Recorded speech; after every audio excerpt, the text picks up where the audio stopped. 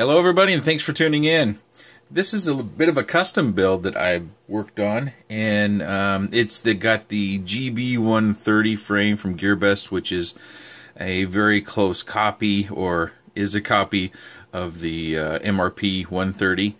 And the reason why I wanted to try this is it's a micro, which you know I love, but it also has a full-size camera, CCD camera that we can use in here.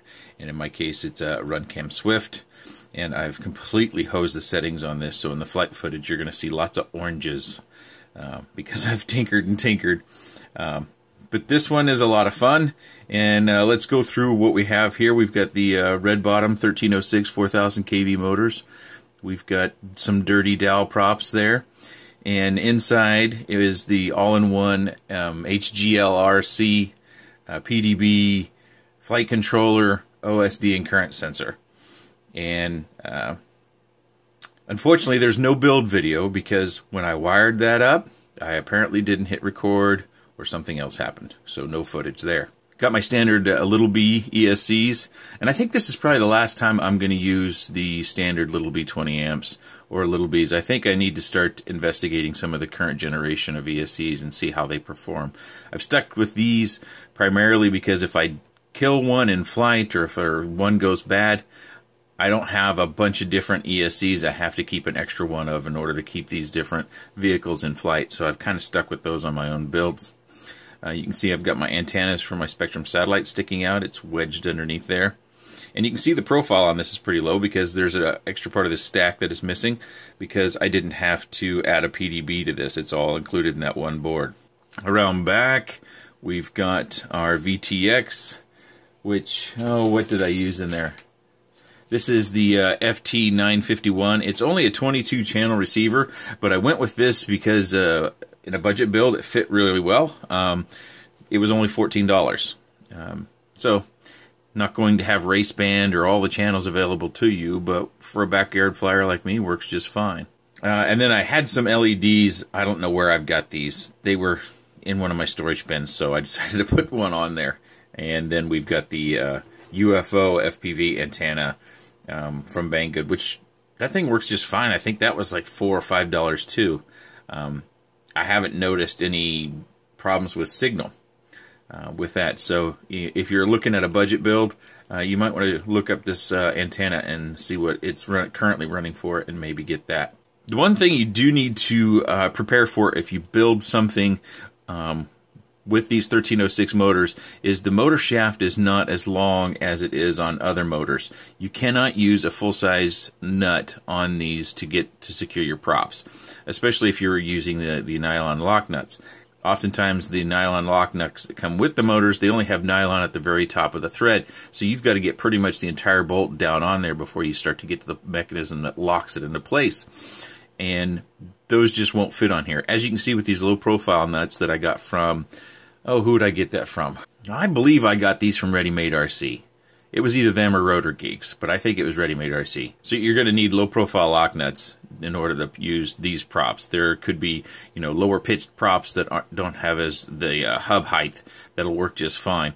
Um, so the ones that come stock with these motors are not going to work. Um, one thing about this frame that I did not like, and you're not going to be able to see it because I've actually got the frame rotated a bit. If you can see this part and this part here, that I believe is actually where the battery strap is supposed to go through there, but that is so narrow, uh, you can't even get a 3S on top of that. That battery strap would have to bow out and come around it. So I just ran the battery strap through and completely disregarded um, those cuts. Now maybe those cuts are just for weight loss. I'm not saying that it's one way or another, but normally when you see these frames and you have something cut into them here and here, that's for battery strap. That doesn't work in this case unless you're running like 2S, which I don't think you're going to want to do. As for the board in here, I, I, enjoyed wiring that up. That was nice and easy. It really streamlines everything. It keeps your profile nice and low. And um, one commenter, I think it was uh, Matt or Mike Mueller, he has seen where friends of his that race these have seen where the OSD has reset uh, with high amperage draw. I haven't had that experience, but I'm only running 3S.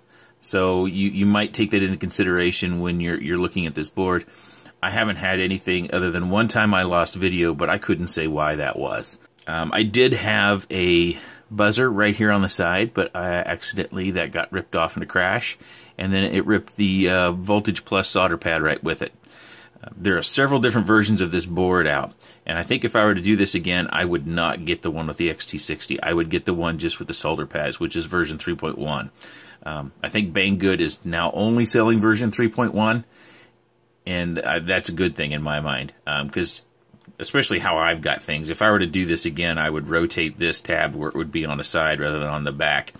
Um, because obviously that limits the depth of the battery that you can fit down there. It hasn't really caused a problem because I've been using a lot of 450s on this and I get about two to three minutes of flight time, which I'm okay with. If you wanted to use a larger battery, you know, an 800 or 1000 milliamp battery, that's going to get in your way. It's going to give you too much front weight.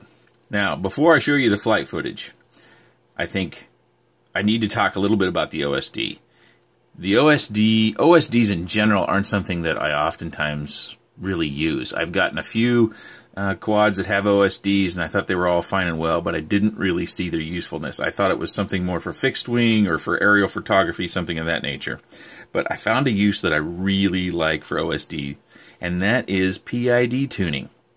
I've said this before, but I don't tune very fast because I go in very small increments and I do go to one axis at a time and one part of our PID tuning at a time.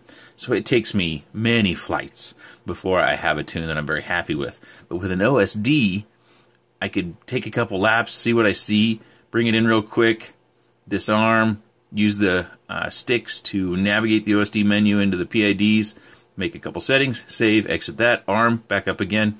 So in a matter of a two or three minute flight, I might have three or four different PID changes Whereas previously, I would just fly the whole pack just because it was fun rather than fly a little bit and disconnect, bring it in, connect it up to a computer, or have a computer out there with me.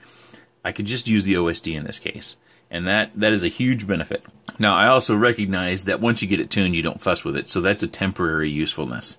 Um, the other usefulness that I can see in OSD it has to do with lot, what uh, Joshua Bardwell does when he's doing battery testing in flight, to where you can get some of that feedback immediately, and, and you can get an idea if your batteries are any good or not. Um, I was a little bit surprised. Um, one of my favorite batteries, it's not my top favorite battery, but one of my favorite batteries, didn't perform quite as well as I thought it would. So I need to stick with using that particular battery with a lighter setup. And now we're speaking about setups. This came in only 9 grams lighter than that. And this is the Diatone Crusader 130, which I was not very pleased with. Uh, I thought at the time I bought it, it was, what, $225? And I didn't think it performed very well. I thought I was in the top 30% of the throttle arc just to cruise it around, let alone if you wanted to do some, some hard throttle. And uh, this hasn't gotten much use. I tried three bladed props on it, which helped a little bit, um, but just not enough.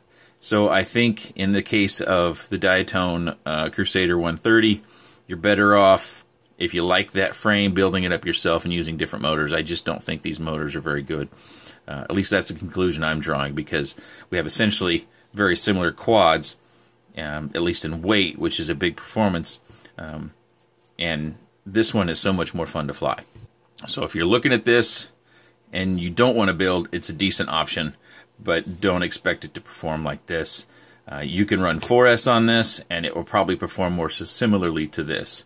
Um, but of course, this is going to be running on 3S, and then you're running 4S, so back and forth. And these two are very, very similar uh, in frame design, and, and the parts are, of course, Diatone has their own proprietary parts. But you can see my stack for my custom uh, 130 over here on the right is uh, quite a bit smaller and I, I always like low profile because when I fly through around things, uh, it gives me less opportunity to get snagged by a ghost branch or something and come down. Now, this antenna itself is too tall. I would like to find some good quality short antennas, you know, those little stubby guys, but I do often worry about, you know, that being a point of weakness to where if you do catch that antenna, the short stubby one, it's going to definitely tear off a connector on one end or another but I'm willing to give that a shot. Let's put this aside now. So I am going to roll some flight footage next. I think the one other thing I have to do is apologize because there isn't a build video. But I'm going to get a bit of a do-over in that regard because GearBest has sent me a GB130, the kit form that they have on their site, which is very similar to what I've already built. Now this one's not going to have an OSD, and this one's not going to have the slim profile because it is going to require a PDB. But um, you'll get to see a build of this and how all the bits and pieces fit together if you're looking for build videos, which I've received several comments that people that are looking to get into the hobby really enjoy the build videos because it helps give them confidence that they'll be able to do it too. And I fully believe that.